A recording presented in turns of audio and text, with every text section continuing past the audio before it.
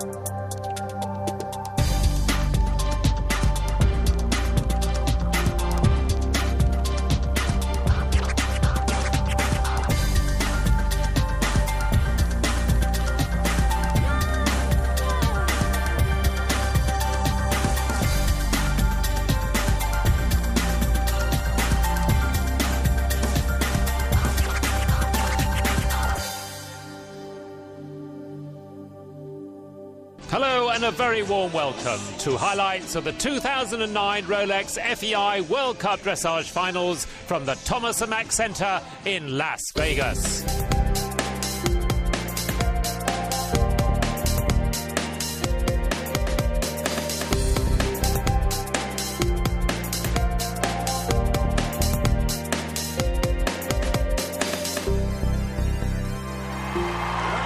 Well, there was great excitement at the Thomas and Mack Centre because in the Grand Prix qualifying competition, their very own Steffen Peters had finished in first place.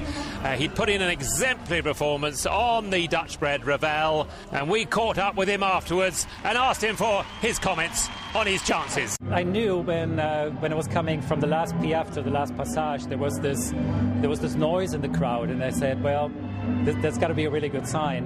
And then when the final halt was there, I, I had a feeling that it was enough. And then when I turned around and I saw that provisional score of 77, things look good, but you know, one can never rest on a score like this. We still have to put in a very clean and correct performance in there. The, the expression is there, the elasticity is there, but it's an extremely difficult freestyle, and the, uh, the room for error is even more uh, evident in the freestyle.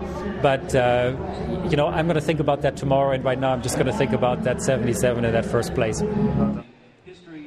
So he was indeed at the top of the leaderboard after the qualifying round, but he would be not the last to go because in the dressage, in the finals, the top five are drawn in a new order, and in fact, he would be the third last to go.